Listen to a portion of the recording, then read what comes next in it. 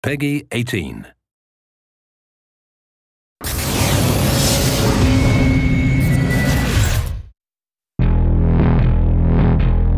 In this city, only a few can move outside the system. Some are friends, some are enemies.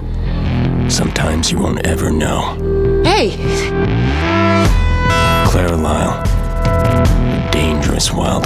but she's the best hacker I know. you can get to places they can't.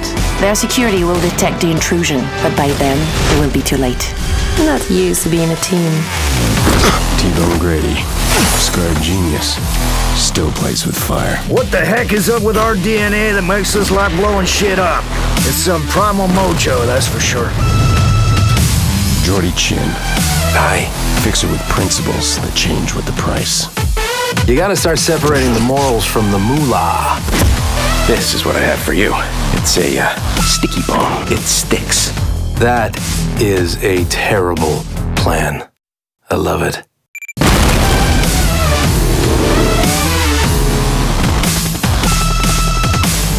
Anthony Wade, aka Iraq, ex-army. He applies military strategy to gang warfare. This vigilante, that's the new kind of killer we're up against.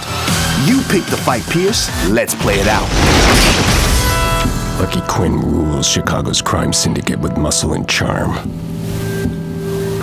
Experience has taught me not to be manipulated, not to back down.